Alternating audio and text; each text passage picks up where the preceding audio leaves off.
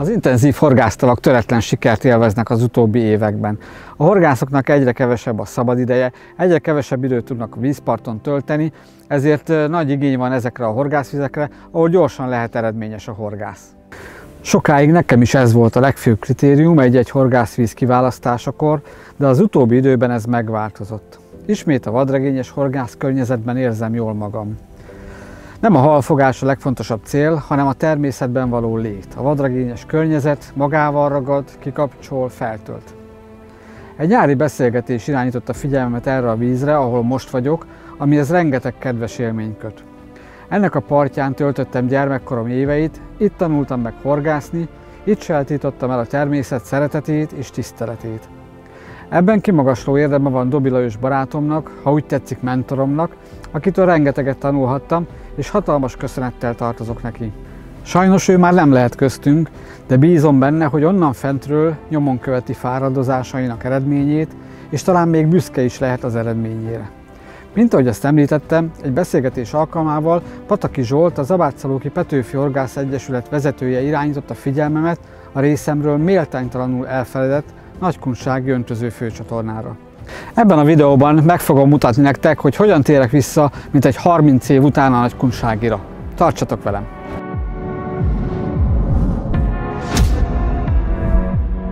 Fontos volt számomra a vadregényesség, de most mégis elsődleges szempont az volt, hogy a gáton találjak egy olyan részt, ahol ki tudom alakítani a táborom, ugyanis a, víz két partján egy keskeny gát fut, ezen a helyen tudtam ezt megvalósítani, úgyhogy ezért esett erre a helyre választásom. Mivel egy éjszakát fogok a vízparton tölteni, így csupán egy brollit, benne egy ágyat és egy széket kellett elhelyeznem a vízparton. Ezen a helyen ez adott volt, ezért itt állítottam fel táborom, majd alaposan feltérképeztem az előttem található vízterületet. Ezt markerezéssel oldottam meg, és ehhez a Fox marker készletét használtam. Ha érdekel beleteket részletesebben a meder feltérképezése, erről találtok videót a YouTube csatornánkon, úgyhogy keressetek rá. A csatorna mesterséges vízterület, emberi kéz alkotta, a meder vonulata végig egységes. Azonban itt is találhatunk érdekes részeket, például kagylópadokat. Mivel az őszi időben már jelentősen letisztult a víz, az áttetszősége miatt inkább éjszaka számítok kapásra. Az esélyeim növelésének érdekében két etetést alakítok ki, ami alapvetően azonos, de mégis más. Az egyik a nádfal előtt a patkán lesz, ahol kb. két méteres vízoszlopot találtam. Napközben talán még elcsíphetek itt egy-két szép amúrt az utolsó utáni pillanatban, hiszen a meghűlt vízben úgy gondolom már jelentősen csökken az aktivitásuk. A markerúszó segítségével pontos képet kapok a vízmélységekről, meder alakulatokról, esetleges gödrökről. Már ekkor figyelem a súly mozgását, hiszen a mederfenékről ez közvetít számomra fontos információkat. Miután a markerúszóval végigpásztáztam az előttem elterülő vízfelületet, ezután felkötök egy ilyen körmös súlyt, amivel pontos képet fog kapni a meder fenékről, mégpedig arról, hogy van-e valami, ami a horgászatot zavarja, például hínár vagy behullott falevelek, ezek fontos információk a horgászattal kapcsolatban.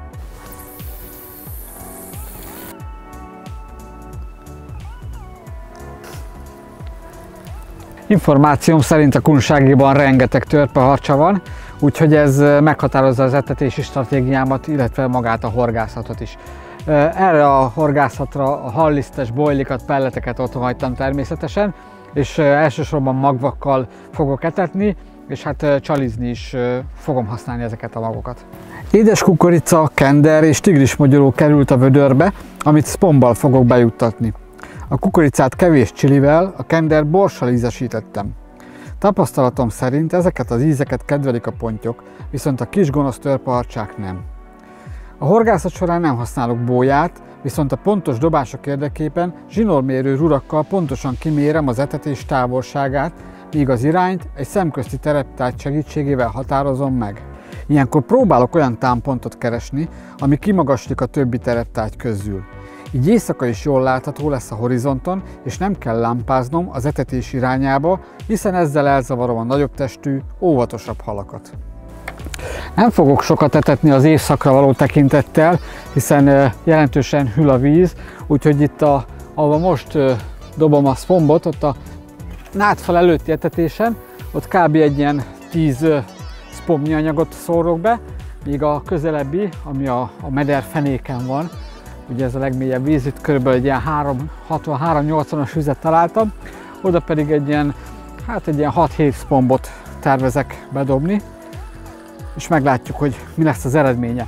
A spombolásnál e, oda kell figyelnem arra, hogy ugye a csatorna vize enyhén áramlik, folyik, és e, nem tudom kiszámolni, hogy a magvak a becsapódás követően pontosan hol fognak fenékre érni, ezért én körülbelül egy ilyen három méteres sávban dobáltam be a szpombokat, egy sávot hoztam létre, és ezen szóródik szét a mag, míg a, a végszerelékemet, hogy be fogom dobni, akkor az etetés folyásirány felül eső végére fogom bedobni, és így szerintem nagyjából körülbelül pont a magvakra fog ráesni a, a csalim. A lehűlő csatorna vize jelentősen áttetsző, letisztult, ezért nagyon örülök ezeknek az új Edgis átszázott termékeknek. Természetesen most ezeket fogom használni a maximális átszázás érdekében. A nagytestű óvatos példányokat így próbálom megfogni. 4-es méretű white géphorgot és 15 librás lágy reflex kamó előkezsinort használok. A kis dobás távolság miatt nem indokolt nehéz súlyokat feltenni, ezért 71-85 g-os súlyokat használok most. Mivel lágy előkezsinort kötöttem, ezért dobáskor fokozatosan figyelnem kell, hogy nehogy felakadjon. Szememmel végigkövetem a repülő végszereléket, és ha a csali végig távol repül az ólomtól, akkor tapasztalataim szerint elterülve várja az etetésre érkező halakat. Nagyon fontosnak tartom, hogy a, a végszerelékem mindig a lehető legjobb helyen legyen, ezért csak akkor rakom le a botot a kezemből, amikor már biztos vagyok, hogy a végszerelékem a lehető legjobb helyen van. A csalik kiválasztását nagyban befolyásolta ugye a víztörpaharcsa állománya, ezért egyik botomon pop-up csalikat fogok használni, a másik botomon pedig kikönnyített magvakat, kukoricát, tigrismogyorót fogok felfűzni. A pop-up csalit ronilik szereléken kínálom fel. Így nem lesz távol a medelfenéktől, de arra elég lesz, hogy a törpaharcsa ne tudja megrágni. A könnyített tigrismogyoró és kukorica is jól ellenáll ennek a támadásnak, így bízom benne, hogy ezekkel a csalikkal sikerül jó halat zsákmányolnom a kunkságiból. Egy tipp a zsinórmérő rudak használatával, hogyha pontos információt szeretnétek, hogy az etetésetek milyen távolságra van tőletek, mert esetleg meg akarjátok jegyezni, vagy, vagy a barátaitokat be akarjátok avatni, hogy azon a horgászálláson hol voltatok eredményesek, akkor mérjétek meg pontosan a két zsinórmérő rúd távolságát. Nem mindenkinél lesz mérőszalag, ez egyértelmű, viszont ezt egy horgászbota tök jól megtehetitek, ezen a horgászaton én Explorer botokat használok, amit ha kihúzunk, pontosan 3 méter hosszú, és ezzel mértem ki a két zsinórmérő rút távolságát, úgyhogy ha 16-szor tekerem fel a zsinóromat erre a két rúdra, akkor 16-szor 3 méterrel kell számolnom, tehát 48 méter távolságra horgászom.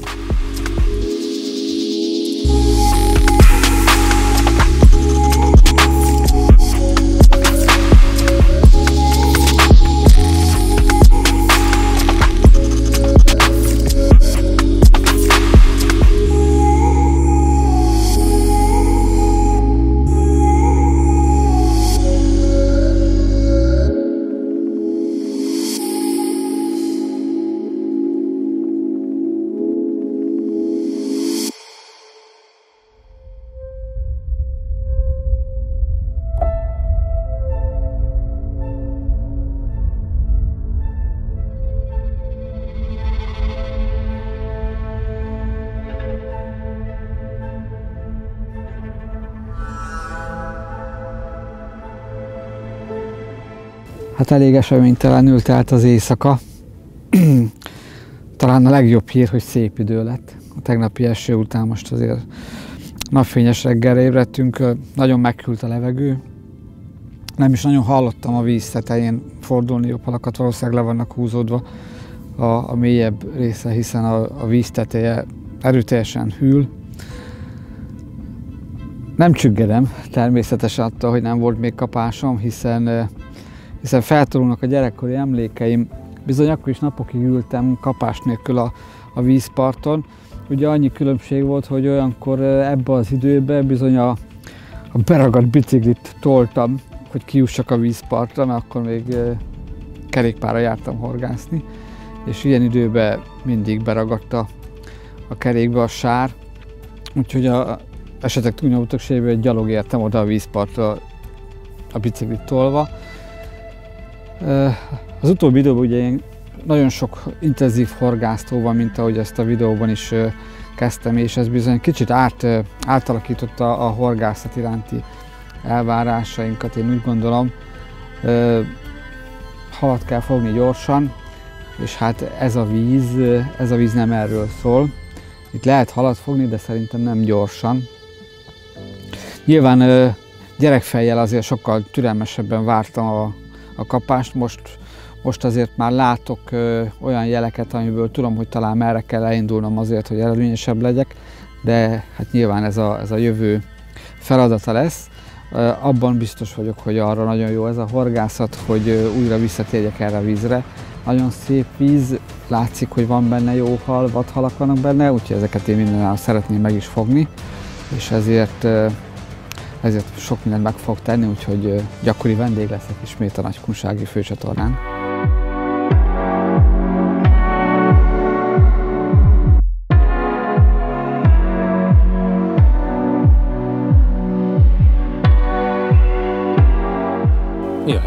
Mit fogtál?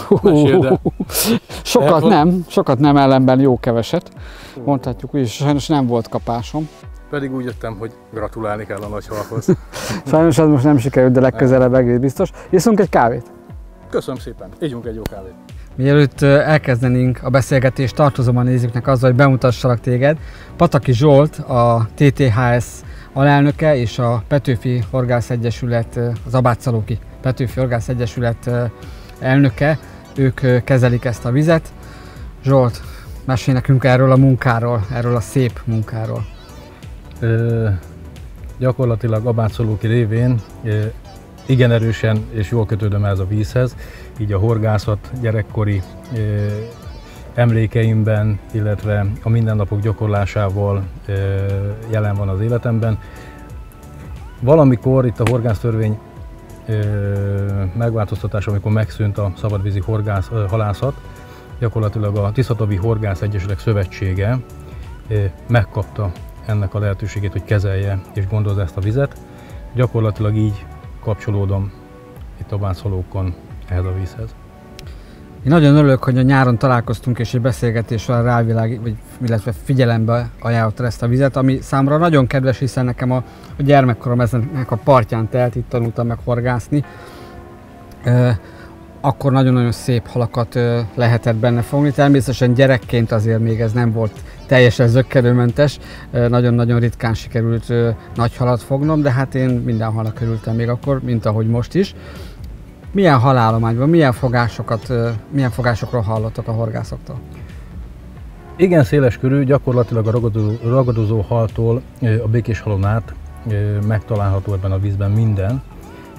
Nagyon jó pontjálományjal, az amur árománya is teljesen kiváló, illetve a csuka és a süllő is jelen van, és balinban is úgymond bővelkedik ez a víz. Tehát gyakorlatilag majdnem minden halfajtára lehet jól és eredményesen horgászni, a keszegállománya is teljesen kiváló.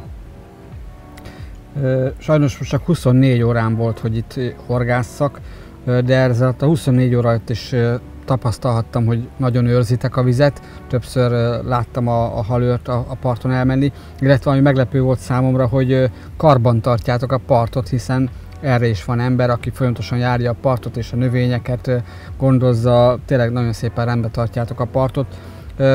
Gondolom szívetek, lelketek benne van ebbe a, ebbe a vízbe. Mik a jövőbeni terveitek?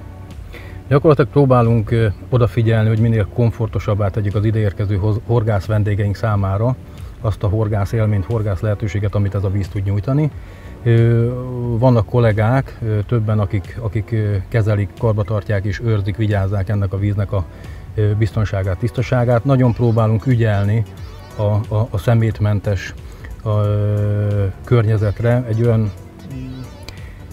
teljes egészében tiszta környezetre, amiben kellemesen el lehet tölteni az időt, és jót lehet horgászni.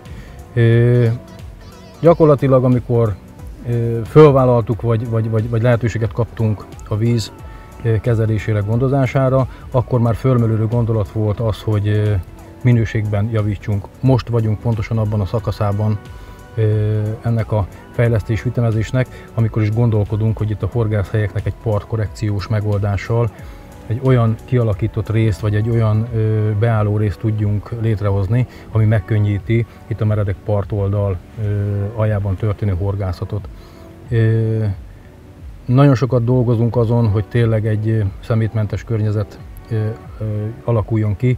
Nagyon sokat kell a horgászainknak felnőni fejben igen, ahhoz, ebben, hogy... ebben nagy együttműködésre igen, van igen, szükség. igen, dolgozunk rajta. Én, én merem azt gondolni, hogy a jövő majd rendbe teszi ezt, és megértjük mi horgászok, hogy mi rajtunk múlik, hogy tiszta és szép környezetben tudjunk kikapcsolódni vagy pihenni. Hm. A vízről még annyit lehet elmondani, vagy annyit érdemes elmondani, hogy abátszolók közelsége mindenféle, mindenféleképpen megteremti azt a fajta biztonságot, ha családdal érkezik ide a horgász hozzánk, ennek a víznek a partjára, akkor a településen bent lévő szállásaink teljesen kiválóan alkalmasak arra, hogy az éjszakát bent töltsék, és akkor kora reggeltől késő estig itt el tud lenni gyerekkel, biztonságban az ember. Ugye ez a csatorna a Tisza tóból ered, ez a, ez a zsilip innen talán 300 méterre, hogyha található. Nyilván a Tisza tó is itt van a, a közelben. Gondolom ott is folyik horgászat, hát ha persze, hogy folyik, hiszen én is horgáztam rajta. Ott, ott várjátok el horgászokat a Tisza tóra, vagy csak inkább a Nagykunságira? Abszolút, én azt gondolom, hogy a Tiszatavi régióban ezek a vizek, a Tiszató, a Kunsági, a Jánsági, akár az Alvíz része is abszolút nagyon-nagyon jó horgászvíz, én merem azt mondani, hogy kiváló adottságokkal rendelkezik, mind rablóhalas, mind békéshalas oldalon, a Tiszató is maga. Vannak kiépített horgászhelyek, megközelíthető ugyanígy biztonságosan a gátkoronán, aszfaltozott úton gyakorlatilag elérhető majdnem minden horgászhelyünk, teljesen jó horgászvíz. Az itteni horgászat sokszor ilyen viszontagságos volt, hiszen volt egy idő, amikor nem engedték, hogy éjszakázzanak a horgászok a, a vízparton, tehát úgymond a vadkempinget csúnya szóval. Ez, ezzel most mi a helyzet? Van ez valahogyan szabályozva? Igen, ö, épp a napokban volt egy ilyen konferencia, ahol erről beszéltünk. Mindenféleképpen valamiféle szabályrendszert kell lefektetni, mert a senkinek nem jó, ha megjelenik a úgymond nomád kempinges történet, és ott nincs lekezelve sem a szerves, sem a kommunális hulladék. Tehát ezt valamiféle formában és valamiféle mederbe kell terelni, hogy ez egy kulturált környezetet és egy olyan öko környezetet tudjon biztosítani hosszú távon, amiben az ember jól érzi magát. Igen, foglalkozunk ezzel a kérdéssel. Ugye most azért járnak ide a horgászok. Mi a teendő a szeméttel? Mert látom, hogy van, aki ott hagyja a gát szélén zsákba, ezt aztán valami va- vadállat, és egy róka szét is szedheti. Tehát, hogyha valaki ide jön horgászni, hogyan kell eljárnia? Ö, gyakorlatilag van egy ö, kiforrott megoldása. A Tiszatavi Sporthorgász Kft., aki a Tiszatavat ö, kezeli, üzemelteti, ő elérhetővé tette egy olyan szemetes zsákot, ezt meg lehet vásárolni, amiben, hogyha összegyűjtöd a szemetedet, ezt fölhelyezed a gátkoronára, akkor az ő általa megbízott autó, gépjármű ezt összeszedés elviszi. Vannak, akik ezt nem veszik figyelembe és nem így járnak el, ez szomorú.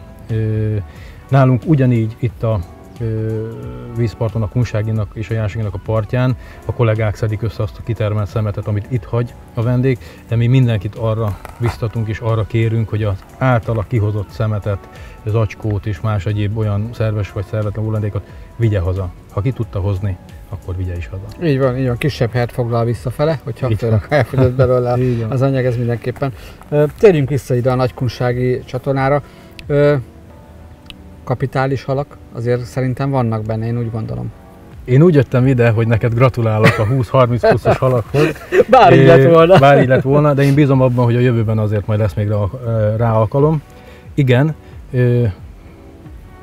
teljesen kiváló halálományjal beszámolhatunk az elmúlt időszakban is voltak 20 és 30 pluszos amúrfogások ezen a vizen, illetve ponyban ugyanígy ö, 10-10 és 20 pluszos pontyokat is fognak a horgászaink.